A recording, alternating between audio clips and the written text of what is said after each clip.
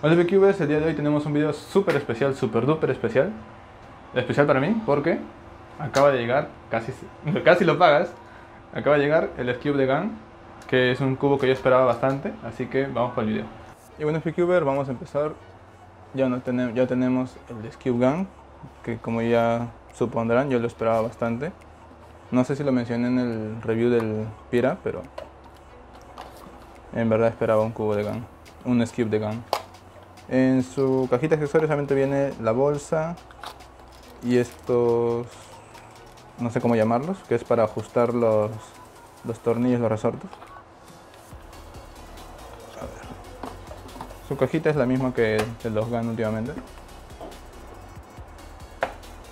Eh, a ver.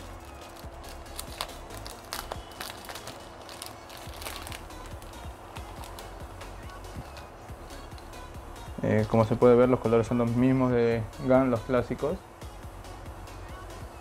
El giro es demasiado suave, de hecho ya lo había probado un poquito antes de, hacer el video, pero el giro es bastante suave, es rápido, es muy estable, por lo mismo que tiene imanes en el núcleo. Ahorita vamos a ver eso.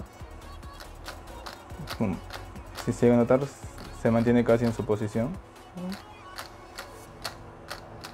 A diferencia del Wingy, es casi el mismo tamaño, la mayor diferencia es que obviamente no es cóncavo. Eh, tal vez por eso los que usen Wingy tal vez lo vean un poco como hinchado. Es el efecto que da la costumbre al cóncavo. Pero es bastante bueno, el giro es suave, es bastante fluido. Lo poco que he probado antes del video no se me estaba trabando. Los algoritmos fluyen sin problema. Es un excelente. Creo que me voy a cambiar de main a, este de acá. Eh, veamos las piezas internas.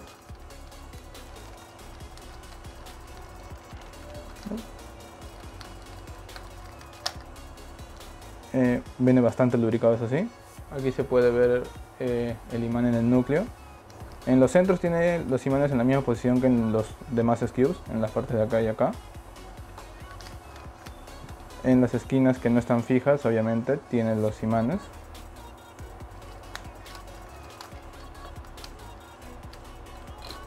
esto, como pueden ver. Y si son fuertecitos, no, no se despegan con facilidad. Puedes sostener el esquivo solamente con, con el imán. Está bastante chévere. Por lo demás, veamos la pieza, la esquina por dentro, a ver cómo se separa esto.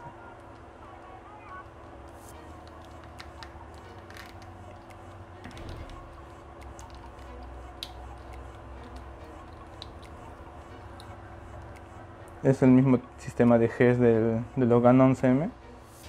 Esto se puede ajustar para que sea un poco más apretado, me parece. No estoy muy seguro aún. Es se puede cambiar simplemente sin, sin, ninguna, sin la llave, se puede solamente presionar y, y girarlo.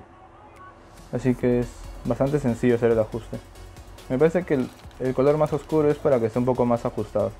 Y en algún ya después, cuando me lo compre, voy a probar eso. Pero si el, se ve bastante estable el sistema. Como ya vieron, se sostiene solamente de la esquina. Es bastante fuerte el imán, así que no hay problema en ese sentido. A ver. Vamos a volver a ensamblarlo para hacer algunos solves de prueba. Pero sí, como les dije, el giro es bastante suave, es rápido. me recuerda el giro del Pyraminx, un poco. Bueno, básicamente es el mismo núcleo, así que sí deberían ser bastante parecidos los giros. Viene bien lubricado, eso sí. No va a tener ningún problema con este cubo, es súper suave, es rápido. Creo que si es el mejor cube que hay ahorita ya...